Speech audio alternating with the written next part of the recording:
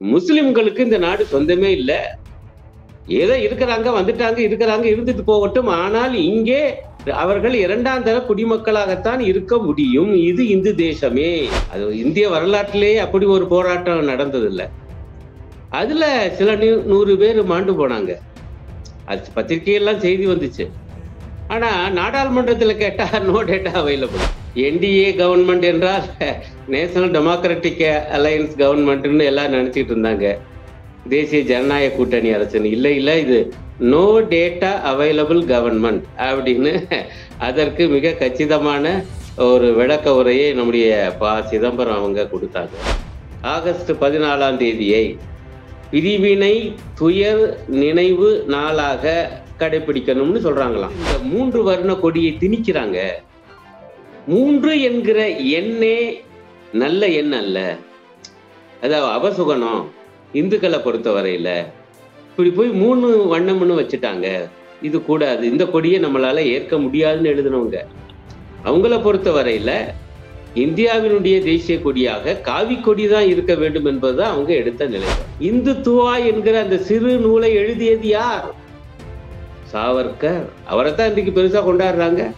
அந்த நூல் சிறு நூல் தான். அதை படித்தவன் முறையில சொல்றேன். அதுலதான் முத முதல்ல சொல்றாரு. ஐயா நாங்க வந்து இந்துத்துவா என்பது ஒரு அரசியல் கோட்பாடு. அது மதமே அல்ல. தெளிவா சொல்லுவார்.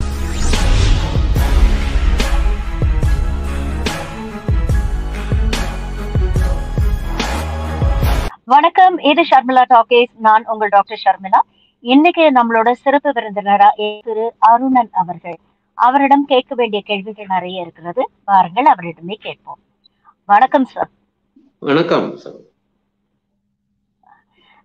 எங்க சேனலுக்கு பேட்டி அளிக்கிறதுக்கு உங்க பொண்ணான நேரத்துல இருந்து நீங்க டைம் ஒதுக்குனதுக்கு முதல்ல எங்களுடைய நன்றிகளை தெரிவிச்சுக்கிறேன்.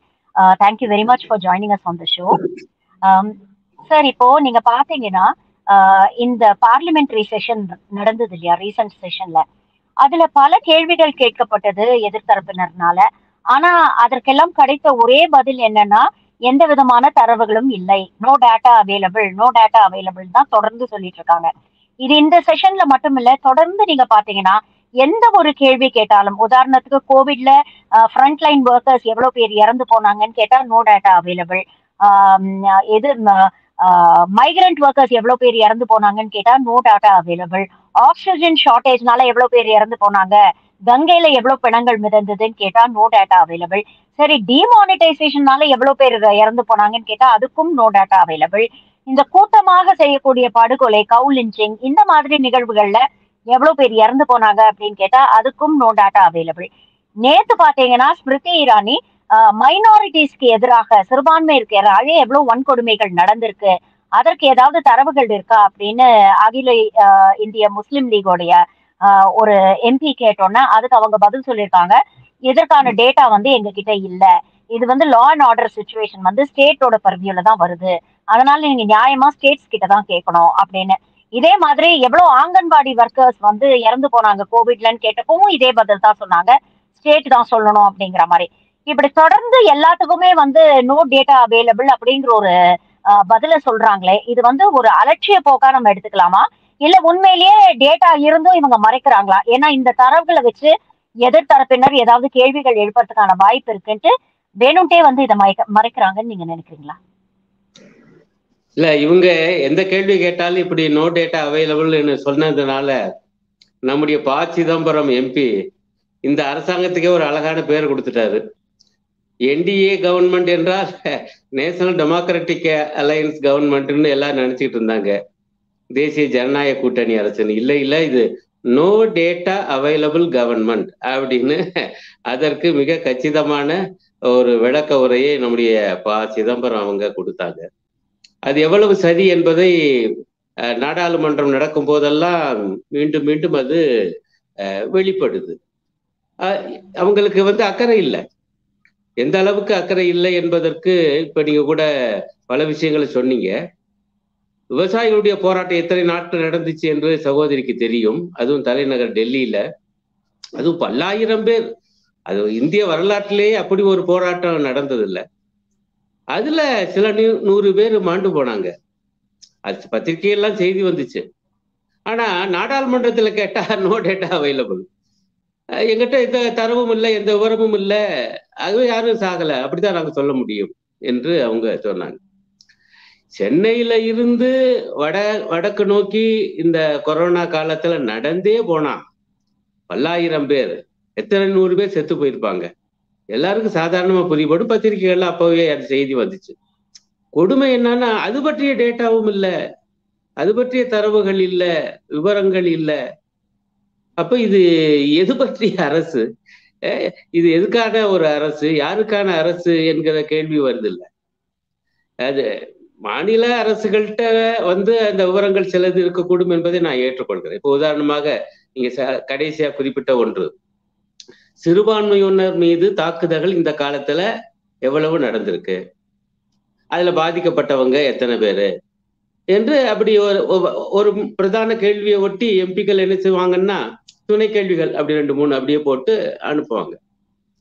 இப்ப இது வந்து சட்ட ஒழுங்கு சம்பந்தப்பட்டது என்பதுல ஒன்றும் ரகசியம் எல்லாரும் தெரிஞ்ச விஷயம்தான். அது சட்ட ஒழுங்கு என்பது மாநில அதிகார பட்டியல்ல வர்றது அதுவும் தெரிஞ்சதுதான். ஆனா நாடாளுமன்றத்துல கேட்கக்கூடாதா? காரணம் நாடு முழுக்க சிறுபான்மையினர் கலவரங்களால் பாதிக்கப்பட்டிருக்காங்க. இப்ப சட்ட ஒழுங்கு மாநில அதிகாரத்துக்கு உட்பட்டது ஆனால் மாநிலங்களிடமிருந்து அந்த விவரங்களை பெறுகிற அதிகாரம் ஒன்றிய அரசுக்கு இருக்கா இல்லையா? என்ன கேட்டா அவங்களும் தரமாட்டாங்களா? இல்ல தள்ள இருந்தவனா வேணா சொல்லட்டுமே. அப்ப அந்த மாநில அரசுடைய யோக்கியதை தெரிஞ்சு போயிரும்ல.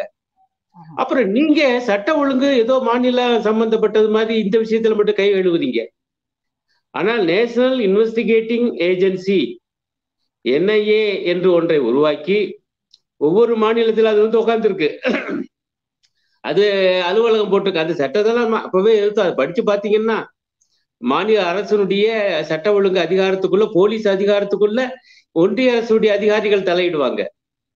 அப்ப மாநிலத்தில் இருக்கக்கூடிய போலீஸ் அதிகாரிகளை கேட்காமலேயே இவங்க ஒரு கிரிமினல் குற்றத்தை அதுக்கு சில எந்த வகையான கிரிமினல் குற்றமும் அதுல இருக்கும். சில பயங்கரவாதம் சொல்லி அதுக்கான சில வரையறைகள். அதுல அவங்களே நேரடியா தலையிடுறாங்க. அவங்களே விசாரணை. இவ்வளவு நடக்குது. இன்னும் பாத்தீங்கன்னா தமிழ்நாட்டுல பாஜக கட்சி அல்லது வேறு சில மாநிலங்கள்ல பாஜக தலைவர்கள்லாம் ஏதேனும் ஒரு பிரச்சனை வரும்போது அவங்களுக்கு அந்த மாநில அரசை பிடிக்கலைன்னா உடனே என்ன சொல்லுவாங்க?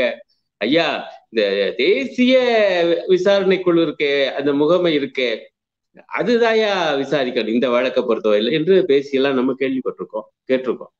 அப்ப இவங்களுக்கு என்னமோ ஒன்றும் அதிகாரம் இல்லாதது மாதிரி இவங்க பேசுவதுடைய நோக்கம் நீங்க சரியாக சுட்டி காண்பித்தது போல எது எது தங்களுக்கு சிக்கலான விஷயமோ அதிலிருந்து தப்பித்து ஓடுவது. இட் இஸ் எஸ்கேபிசம் ஒரு மாநில அரசுக்கு பொறுப்பு இருக்கு என்பதை ஏற்றுக்கொள்கிறேன். ஆனா அதையெல்லாம் விட அதீத அதிகமான பொறுப்பு வந்து ஒன்றிய அரசுக்கு இருக்கு. அதனாலதானே அது ஒன்றிய அரசு? ஆனால் ஒன்றிய அரசு தனக்கு விரும்பின விஷயங்கள்ல மட்டும்தான் விவரங்களை வச்சுக்கிறோம். அந்த விவரங்களை மட்டும்தான் தரும். தனக்கு சிக்கலானது தனக்கு பிடிக்காத விவரங்களை பூராமே தராது. எங்க கிட்ட இல்லைன்னு சொல்லு இருந்தாலும் இல்லைங்கிறாங்கிறது என்னுடைய கணிப்பு. வச்சுக்கிட்டே வெளியே சொல்லாது. அதுக்கு மாநில அரசுகள் மீது பழியை தூக்கி போடும். இதுதான் மோடி அரசனுடைய தன்மை. அதனுடைய செயல்பாட்டு தன்மையே அப்படித்தான் இருக்குது. எந்த நேர்மை நியாயம் நிர்வாகத்துல எதுவும் கிடையாதுங்க அவங்களுக்கு. அதுவே அந்த அடிப்படையில. சொல்லுங்க சார். கேளுங்க. அல்ல அந்த அடிப்படையில தான் இவங்க செயல்படுறாங்க. இது வந்து தப்பிச்சு ஓடுகிற வேலை. முக்கியமான பிரச்சனைகளிலிருந்து எதிர்க்கட்சிகள் கேட்கும்போது இப்ப கடைசியா ஒன்று ஒன்னு ஒண்ணு நான் நினைவுபடுத்துறேன். இவங்க எப்படி தப்பிக்கிறாங்கிறதுக்கு ஒரு உதாரணம். மாநில அரசுகள் மீது பழி போட்டது பற்றி எல்லாம் இப்ப நீங்களும் சொன்னீங்க நானும் ஒரு உதாரணம் சொன்னேன். மார்க்சிஸ்ட் கட்சியுடைய எம்பி மதுரை எம்பி தோழர் சு. வெங்கடேசன் ஒரு பதிவு போட்டிருந்தார். நீங்க கூட பார்த்திருக்கலாம். அவரு இந்த ஐஐடிஎல்ல பேராசிரியர்கள் பணி நியமனத்துல எஸ்சி எஸ்டி ஓபிசிக்கு அது முறையாக அந்த ஒதுக்கீடு அதன் அடிப்படையில பணி நியமனம் வழங்கப்பட்டிருக்கிறதா? இது பற்றிய விவரங்களை தருகன்னு ஒரு கேள்வி கேட்கிறார். இதுக்கு பதிலு அந்த ஐஐடி என்பது சுய அதிகாரமும் படைத்தது. ஆகவே அதுகிட்ட தான் கேட்கணும். எங்களுக்கு ஒண்ணும் தெரியாதுன்னு பதில் சொல்லியிருக்கான். எனக்கு ரொம்ப ஆச்சரியமா இருந்துச்சு. ஐஐடி என்பது உண்மையிலேயே ஒன்றிய அரசினுடைய மனிதவள மேம்பாட்டுத்துறையின் கீழே நேரடியாக வருது. அது மாநில அரசின் கீழே வருது. இப்ப சட்ட ஒழுங்குனா மாநில அரசு மீது பழிய போடுறது ஐஐடி போன்ற நிறுவனங்கள் ஒன்றிய அரசின் நிர்வாகத்தின் கீழ் இருக்கக்கூடிய நிறுவனங்களை பற்றி கேட்டா கூட அந்த நிறுவனங்கள் மீது பழிய போடுறது எனக்கு ஒண்ணும் தெரியாது இது எவ்வளவு கேவலமான அரசு. அதுதான் ஒரே ஒற்றை வாக்கியத்துல சொன்னா அவ்வளவுதான் சொல்ல முடியும். ஆனா நீங்க சொன்ன மாதிரி உங்களுக்கு தேவையான விஷயங்கள்ல தரவுகளை வந்து தெளிவா வச்சிருக்காங்க. இப்ப பாத்தீங்கன்னா உதாரணத்துக்கு ஆகஸ்ட் பதினாலாம் தேதியை வந்து பார்ட்டிஷன் ஹாரர் ரிமெம்பரன்ஸ் டே அப்படின்னு கொண்டாடணும் அப்படின்னு சொல்றாங்க. அதற்கான தரவுகள்லாம் வந்து தெளிவா எடுத்து சொல்றாங்க. இவ்வளவு பேர் வந்து கொல்லப்பட்டார்கள். இவ்வளவு பேர் வந்து நாட்டை விட்டு வெளியேறினாங்க. இந்த தரவுகள்லாம் வந்து தெளிவா சொல்றாங்க. ஒரு 75 வருடங்கள் முன்பு நடந்த ஒரு விஷயம் ஒரு அது வந்து எல்லாருக்குமே இருதரப்பு மக்களுக்குமே வந்து சோகமான ஒரு விஷயம்தான். பட் அதை போட்டு இப்படி நோண்டி நோண்டி அதை கிளறி கிளறி மேலும் வந்து இரு தரப்பினரிடையே ஒரு வன்முறையை வளர்க்கறதுக்கான ஒரு வித்திடுவதாக இந்த விஷயம் வந்து உங்களுக்கு தோணலையா சார் எனக்கு இப்ப ஆம், தோழர் சு வெங்கடேசன் சொன்ன பிறகுதான் அவர் அது இதுதான் அவர் பதிவா போறாரு. அதுக்கு பிறகுதான் எனக்கு தெரிய வந்துச்சு. அது பாருங்க பொதுத்துறை வங்கிகளுக்கெல்லாம் ஒரு சுற்றறிக்கை அனுப்பியிருக்கா மோடி அரசு. அதுலதான் இந்த நீங்க சொன்ன அந்த வார்த்தை இருக்கு. ஆகஸ்ட் பதினாலாம் தேதியை பிரிவினை துயர் நினைவு நாளாக கடைபிடிக்கணும்னு சொல்றாங்களாம். சொல்லிவிட்டு அதுக்கு பக்கத்துல அதுக்கான தரவுகள் அதுல மட்டும் வேகமா தந்திருக்காங்க. அது பூரா ரொம்ப தெளிவா. அந்த மதத்தின் அடிப்படையில் பிரிவினை நடந்த காரணத்தினால் இந்தியாவிலிருந்து எத்தனை லட்சம் பேர் பாகிஸ்தான் போனார்கள்? அப்புறம் பாகிஸ்தானிலிருந்து எத்தனை லட்சம் பேர் இந்தியாவுக்கு வந்தார்கள்? அது ஆயிரத்தி தொள்ளாயிரத்தி நாற்பத்தி ஏழுல மட்டுமல்ல ஆயிரத்தி தொள்ளாயிரத்தி ஐம்பதுல என்ன நடந்துச்சு? என்று அவ்வளவு உரங்கள் பார்த்தா பூரா அந்த லட்சக்கணக்கான அப்படிங்கிறது. அதே போல இந்த இடமாற்றத்துல எத்தனை லட்சக்கணக்கான பேர் உயிரை விட்டாங்க. இதெல்லாம் இந்த விவரம் மட்டும் ரொம்ப தெரியும். அது சரியா தப்பான்னு அதுவே வெரிஃபை பண்ணணும்னு வச்சுக்கோங்க. ஆனா அவங்க ஒரு அரசு தரப்பாவே அந்த டேட்டா மட்டும் ரொம்ப தெளிவா இருக்குது. இதனுடைய நோக்கம் என்ன? இங்க அழகா சுட்டி காண்பித்தது போல ஐயா புண்ணு ஏற்பட்டு போச்சு ரணம் ஏற்பட்டு போச்சுன்னா அது ஆத்திர வேலையை பார்க்காம எழுபத்தைந்து ஆண்டுகளுக்கு பிறகும் அதை வந்து நோண்டி விட்டு சொரண்டி விட்டு ஆழப்படுத்தி புண்ண மேலும் வலியை அதிகப்படுத்துகிற வேலையை இந்த மோடி அரசு செய்தே. இது எவ்வளவு கேவலமானது எவ்வளவு மோசமானது. நான் ஒன்றை சொல்லுவேன். உண்மைதான். மத அடிப்படையில இந்த துணை கண்டத்தை பிரித்தது என்பது ஒரு வேதனையான சரித்திர கொடுமை. அது அப்படி கூட நான் சொல்லுவேன். ஏன்னா ஒரு எல்லாமே ஒரே இந்தியாவாக முதல்ல இந்தியா என்பது இல்லதான். ஆனால் அது நமக்கு இடையிலே கிடைச்ச ஒரு வரப்பிரசாதம். அது முகலாய சாம்ராஜ்யவாதிகளே கிட்டத்தட்ட இந்தியா உருவாகி உருவாக்கிட்டாங்க. பிறகு ஆயிரத்தி எண்ணூறுக்கு பிறகு பார்த்தீங்கன்னா ஆங்கிலேய ஏகாதிபத்தியவாதிகள் இன்னும் முழு இந்தியாவுக்கும் இந்த துணை கண்டத்துக்கு ஒரு இந்திய அரசை ஒன்றிய அரசை உருவாக்கி அப்படி அரசு வந்துருச்சு நாடு வந்துருச்சு. அது உள்ளுக்கே சுயாட்சி உள்ள சமஸ்தானங்கள் இருந்தது என்பதெல்லாம் உண்மைதான். சில நூறு சமஸ்தானங்கள். ஆனாலும் அந்த இந்தியன் கவர்மெண்ட் இந்திய அரசு என்பதை உருவாக்கிட்டாங்கல்ல. டெல்லியில இருந்து இங்க குமரி வரைக்கும் அவங்களால ஆள முடிஞ்சுச்சுல்ல.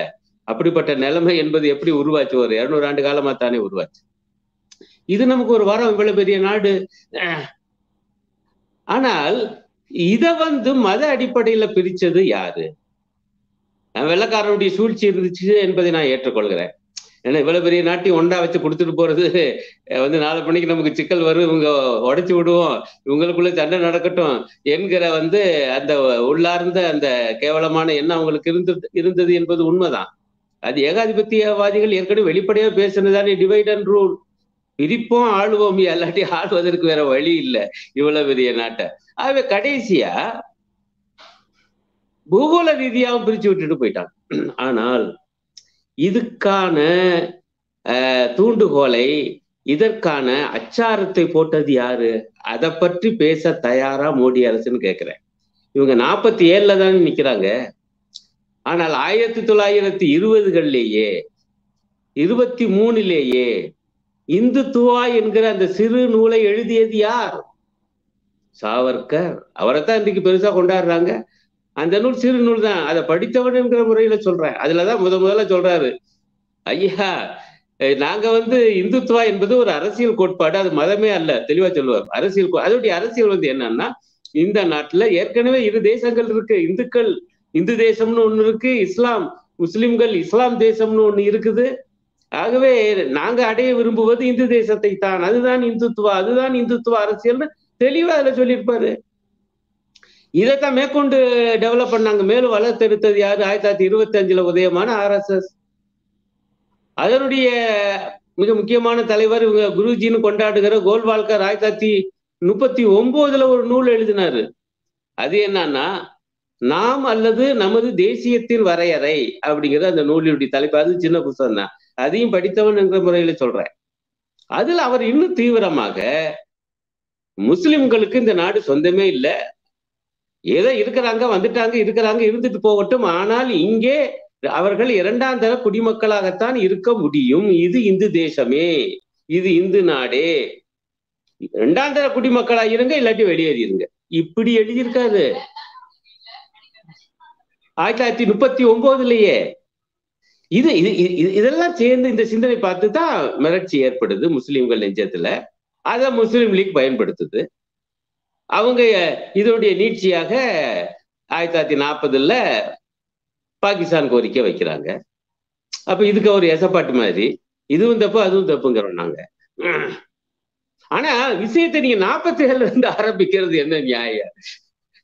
சாவர்கர்ல இருந்து ஆரம்பிக்கணும் இருபதுகள்ல இருந்து ஆரம்பிக்கணும் ஆர்எஸ்எஸ்ல இருந்து ஆரம்பிக்கணும் அதனுடைய பிரிவன் இன்னைக்கு கூட பாருங்க ஐயோ மத அடிப்படையில நாட்டை பிளந்துட்டாங்க அது கூட அதுதான்.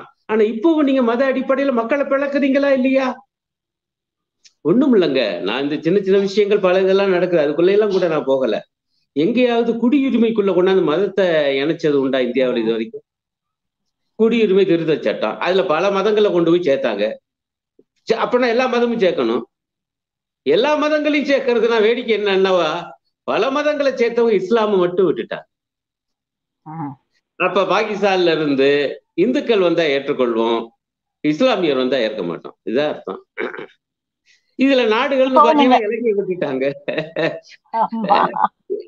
அப்ப இலங்கையில இருந்து இது வந்தாலும் முடியாது. ஏன்னா இலங்கையே இல்ல அந்த இதுல. குடியுரிமை திருத்த. மசோதாவில். இப்ப அதை பழையபடி கொண்டு வருவோம்னு இப்ப பேசியிருக்காரு அமித்ஷா இந்த கொரோனாவனால ஒத்தி வச்சிருக்கோம். இந்த விவகாரம் எல்லாம் முடிஞ்சிச்சுன்னா. அப்படி என்றால் இப்பவும் நீங்க மக்களை பிளவுபடுத்திக்கிட்டு இருக்கீங்க. பிரிவினையினுடைய கொடூரங்கள் பற்றி பேச வேண்டும் என்றால் மத அடிப்படையில் பிரிவினைவாதத்தை முதலில் முன்வைத்த இந்த சாவர்கருடைய அந்த கொடூர சிந்தனையிலிருந்து ஆரம்பிக்கணும். அதை எதிர்ப்பதிலிருந்து அதை விமர்சிப்பதிலிருந்து ஆரம்பிக்கணுங்கிறேன் அதெல்லாம் பேச மாட்டாங்க. நாற்பத்தி ஏழுல இருந்து ஆரம்பிக்கிறது. அப்படின்னா ஐயா ஆமா இந்துக்கள் எல்லாம் அங்க இருந்து வந்தாங்க. எவ்வளவு கஷ்டப்பட்டாங்க. ஆகவே முஸ்லிம்கள் எல்லாம் அங்க போனாங்க. இன்னும் அவங்க கடைசியா என்ன செய்வாங்கன்னா அங்க இருந்து இந்துக்கள் வந்ததை அதிகமா பேச போறாங்க. ஏன்னா கண்காட்சி எல்லாம் நடத்தணும்ல அவங்க சுற்றறிக்கையில இருப்பதாக எம்பி சொல்றாரு. அப்படின்னு அதைத்தான் அங்க காட்சிப்படுத்துவாங்க. அங்க இருந்து இந்துக்கள் வந்ததை. இங்க இருந்து முஸ்லிம்கள் விரட்டப்பட்டதை அநேகமா அப்படி நைஸாக கடந்து போவாங்க. இதெல்லாம் நடக்கும் நீங்க சரியா சுட்டி காண்பித்தது போல இது ரணத்தை மேலும் மேலும் கிண்டி விடுகிற வேலை கிளறி விடுகிற வேலை வலியை அதிகப்படுத்துகிற ஒரு படு பாதகச் செயலை ஒரு அரசாங்கமே செய்து. அதுதான் கொடுமை. எழுபத்தைந்து ஆண்டுகள் முடிந்து விட்டன நம்முடைய சுதந்திரத்துக்கு. அந்த சுதந்திர நாளை ஆகஸ்ட் பதினஞ்சாம் தேதி கம்பீரமாக நாம் கொண்டாட வேண்டும். ஆனா சுதந்திரத்தை பத்தி பேசாம அதுக்கு முத நாள் பிளவை பற்றி பேசுவது பிரிவினையை பற்றி பேசுவது. இவங்க எவ்வளவு மோசமான சித்தாந்தத்தை உடையவங்க. இன்னும் சொல்லப்போனா ஒரு இயல்பான நல்ல மனித பண்பு கூட இல்லைங்கிறேன் நல்ல நாகரிகம் கூட இல்லை. ஒரு நல்ல விழா. அஹ், விழாவுக்கு முன்பு முத நாள் இப்படி பேசுறது என்றால் இது எவ்வளவு மோசமான மோசடியான சிந்தனை செயல்பாடு. இதைத்தான் இந்திய மக்கள் புரிந்து கொள்ள வேண்டும் என்பதுதான் என்னுடைய கருத்து. ஃபைனலா நீங்க ஆர்எஸ்எஸ் பத்தி பேசுனதுனால சொன்னேன். ஒரு பக்கம் வந்து பாத்தீங்கன்னா சாவர்கர் கோல்வார்கர் ஹெக்டேவர் இவங்களெல்லாம் தேசியவாதி அப்படின்னு இப்போ ஸ்லோவா ப்ரொஜெக்ட் பண்ண ஆரம்பிச்சுட்டாங்க. அவங்களுடைய வரலாறு எல்லாம் வந்து ஸ்கூல் சிலபஸ்ல எல்லாம் இன்க்ளூட் பண்ணணும்னு ஒரு பக்கம் பண்றாங்க. இன்னொரு பக்கம் பிரதமர் நரேந்திர மோடி பாத்தீங்கன்னா வீடு வீடு தோறும் வந்து நம்ம வந்து நேஷனல் பிளாக ஏத்தணும். ஒவ்வொரு வீட்லயும் வைக்கணும். ஒவ்வொருத்தரும் அவங்களுடைய சோஷியல் மீடியா டிபியில வந்து நேஷனல் டேக வந்து ப்ரொஃபைல் பிக்சரா வைக்கணும் அப்படின்னு ஒரு பக்கம் சொல்றாரு. ஆனா நீங்க சமூக வலைதளங்கள்ல இருக்கக்கூடிய ஆர்எஸ்எஸ் உடைய முக்கியமான பிரமுகருடைய பக்கங்கள்லாம் எடுத்து பாத்தீங்கன்னா ஒருத்தர் கூட தேசிய கொடியை அவங்களோட டிபியா வைக்கல. சோ இதுல இருந்து வந்து இவங்களுடைய இரட்டை நிலைப்பாடை வந்து நாம எப்படி புரிஞ்சுக்கிறது? ஒருவேளை மோடி வந்து ஆர்எஸ்ஐ சார்ந்தவர் ஆர்எஸ்எஸ் இயக்கத்தை சார்ந்தவர் இல்ல அப்படிங்கிற மாதிரி ப்ரொஜெக்ட் பண்ணுங்கிறதுக்காக வேணுட்டே இவங்க இந்த மாதிரி பண்றாங்களா? தங்களை டிஸ்டன்ஸ் பண்ணிக்கணும் அப்படின்னு முயற்சி பண்றாங்களா? இதுவும் ஒரு விதமான நாடகமா நம்ம பார்க்க முடியுமா? இல்ல இது நாடகம். இ- இந்த இந்த மாதிரியான முக்கியமான முடிவை எல்லாம் மோடி வந்து சுயேட்சையா எடுக்க மாட்டாரு. நம்ம தெளிவா இருக்கணும். ஆர்எஸ்எஸ் அவருடைய குருபீடம்.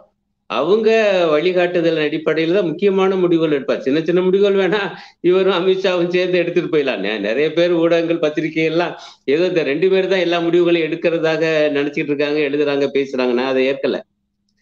இவங்க ரெண்டு பேரும் செய்வாங்க. யார் சொல்றது என்றால் நாக்பூர்ல ஆர்எஸ்எஸ் தலைமையகம் சொல்வதை அவங்களுடைய பிரதிநிதிகள் ஆஹ், பிரதம மந்திரி அலுவலகத்துல இருப்பாங்க உள்துறை அமைச்சக அலுவலகத்தில் இருப்பாங்க. அவங்க சொல்றபடி தான் இவங்க செய்வாங்க. செய்யணும். இல்லாட்டி தூக்கி போட்டுருவாங்க. அத்வானியவே தூக்கி எறிஞ்சது ஆர்எஸ்எஸ் தலைமை பீடம் என்பதை மறந்துடக்கூடாது. இப்ப இதை பொறுத்தவரை நான் என்ன நினைக்கிறேன்னா இந்த தேசிய கொடியை இந்த மூவர்ண கொடியை ஆர்எஸ்எஸ் அன்றும் ஏற்கவில்லை இன்றும் ஏற்கவில்லை. இதுதான் இதுக்கு என்கிட்ட ஆதாரம் இருக்கு. அது என்னன்னா ஆயிரத்தி தொள்ளாயிரத்தி நாற்பத்தி ஏழுலேயே இந்த மூவர்ண கொடி வடிவமைக்கப்பட்டு அந்த அஹ், அசோக சக்கரத்துடன் இதை கடுமையாக எதிர்த்து ஆர்எஸ்எஸ் உடைய ஆங்கில ஏடாகி ஆர்கனைசரில் எழுதப்பட்டது. அந்த வாக்கியம் என்ன? என் மனசுல இருக்கு. அவங்க தெளிவா சொல்றாங்க. எப்படியோ ஆட்சிக்கு வந்தவங்க நம் மீது இந்த மூன்று வர்ண கொடியை திணிக்கிறாங்க.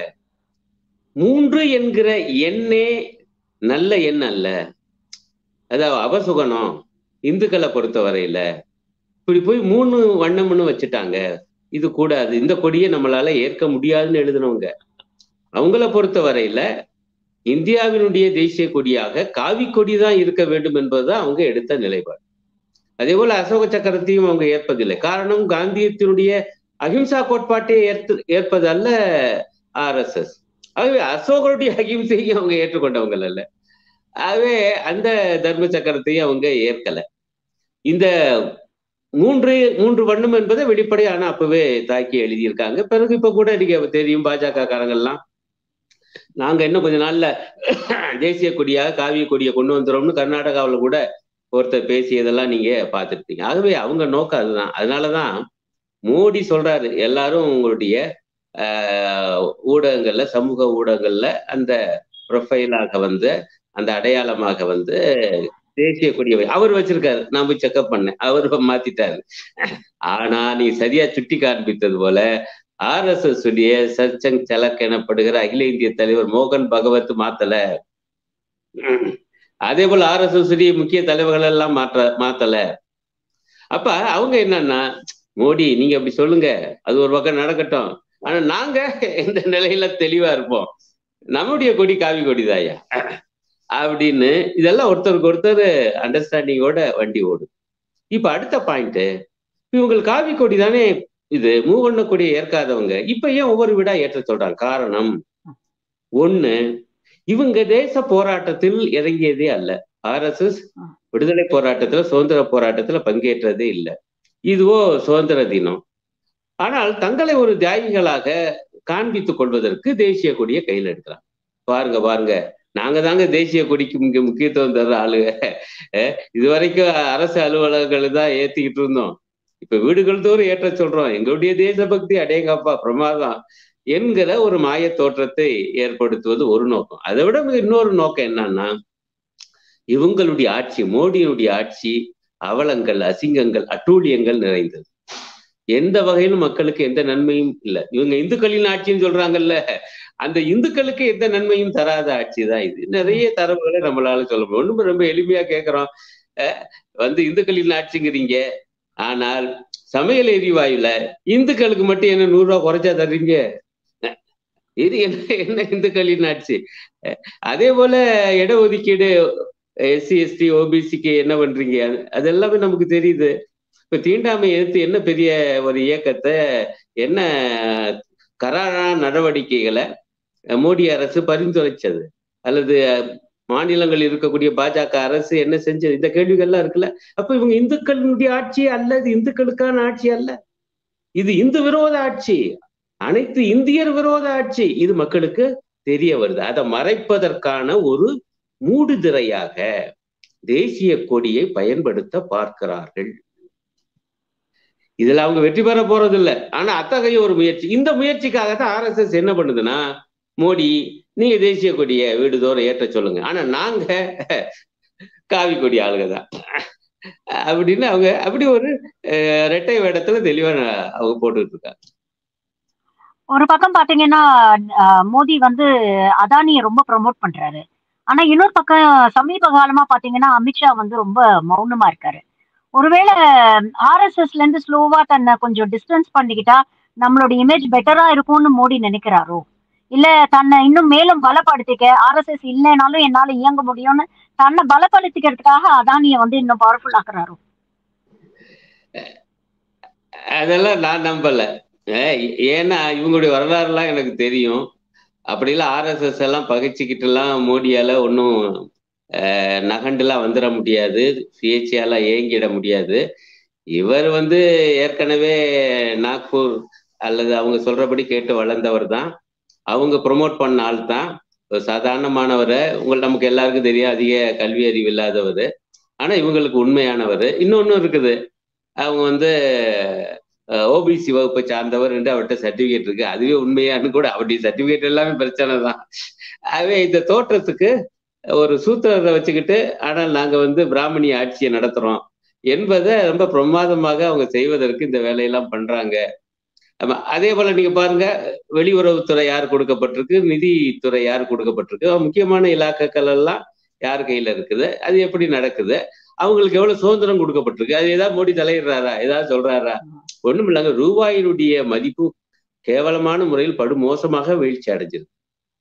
எண்பது ரூபாயை தாண்டி போயிட்டு இருக்குது. அதையும் நியாயப்படுத்துறாப்புல நிதி அமைச்சர்.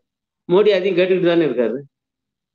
அதுவே அவர் வந்து ஆர்எஸ்எஸ் உடைய பிடியில் இருந்தாலும் அப்படிலாம் விலகிட முடியாது. விலகுனா அத்வானிக்கு ஏற்பட்ட கதி தான் ஏற்படும். அப்படி விலகக்கூடிய ஆளே அல்ல அவரு. அவருடைய இப்போ உதாரணத்துக்கு ஒண்ணு சொல்றேன். இப்போ இவ்வளவு தூரம் சுதந்திர தினம் எழுபத்தஞ்சு ஆண்டு நிறைவு அதற்கான விழா இவ்வளவு பேசுறால இப்போ சுதந்திர தினம்னா முதல்ல யாரை பத்தி பேசணும்? மகாத்மா காந்தியை பத்தியில பேசணும். மகாத்மா காந்தியை புகழ்ந்து இதுவரைக்கும் ஏதேன்னு ஒரு வார்த்தை பேசியிருக்காரா? கவனிச்சிக்கல. அடுத்து முதல் இருந்து இந்த நாட்டுடைய சுதந்திரத்தை காப்பாற்றியவர் ஜவஹர்லால் நேரு. நேருவை புகழ்ந்து ஒரு வார்த்தை பேசியிருக்காரா இது வரைக்கும் இதெல்லாம் அப்படி ஆர்எஸ்எஸ் உடையல அதனால அவங்க அதுல எல்லாம் தெளிவா இருக்காங்க. அவங்களுக்கு இடையில ஒரு வேலை பிரிவினை அவ்வளவுதான். அதை கண்டு நம்ம ஏமாந்து போய் விடக்கூடாது என்பதுதான் என்னுடைய கருத்து. இறுதியா ஒரு கேள்வி சார். ராகுல் காந்தி அவர்கள் வந்து லேட்டஸ்டா சொல்லியிருக்கிறாரு.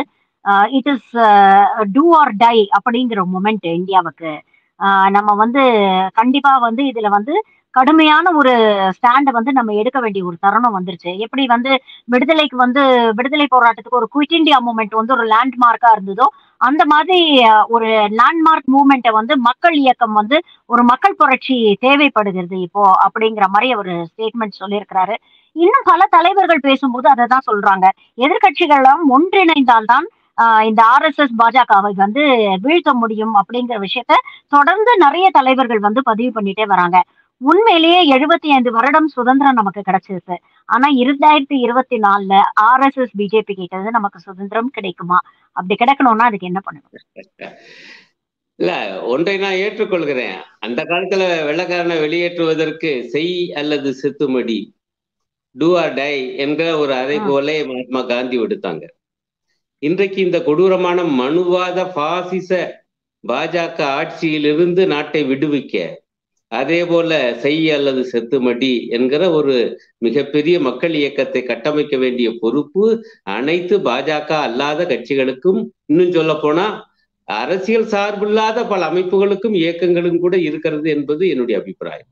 ஏன்னா அவங்க வந்து சிவில் சமூகத்துக்குள்ளேயும் ஊடுருவி இருக்காங்க ஆர் எஸ் எஸ் அப்படி சமூக சிவில் சமூகத்துக்கும் பொறுப்பு இருக்கு. நேரடி அரசியல் இருக்கிறவங்களுக்கு மட்டும்தான் பொறுப்பு என்று நம்ம விட்டுவிடக்கூடாது.